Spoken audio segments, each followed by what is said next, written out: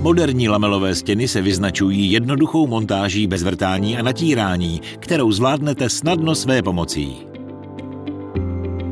Připravíme si montážní lepidlo a vodováhu, případně pilku na dřevo a pokusovou šablonu. Nejdříve určíme vertikální polohu pomocí vodováhy. První lamelu je třeba nalepit přesně, závisí na tom konečný výsledek. Na lamelu naneseme montážní lepidlo. Postačí troška, každých 10 cm. Případně můžeme použít oboustranou lepící pásku.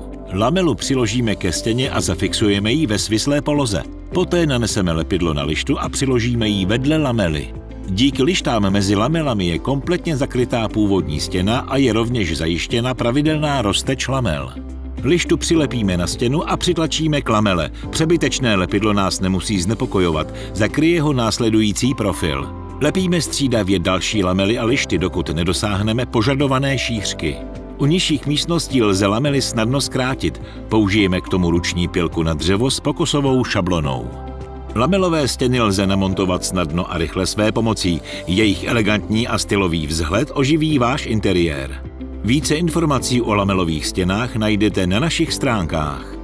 K dispozici je široký výběr dekorů, včetně dubové dýhy. Nově si můžete objednat také vzorky lamel jednotlivých dekorů, které si pak pohodlně vyzkoušíte přímo ve vašem interiéru.